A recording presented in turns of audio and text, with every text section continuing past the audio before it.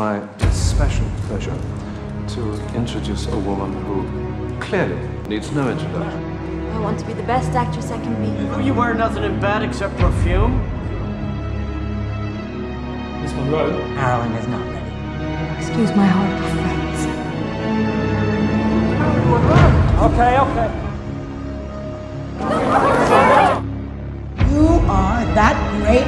Marilyn. Trust your talent. Come on, Polly, get up. No. Paula, for I God's want I'm Lee! director, so have to be patient with her. Trying to teach Marilyn how to act is like teaching Urdu to a badger.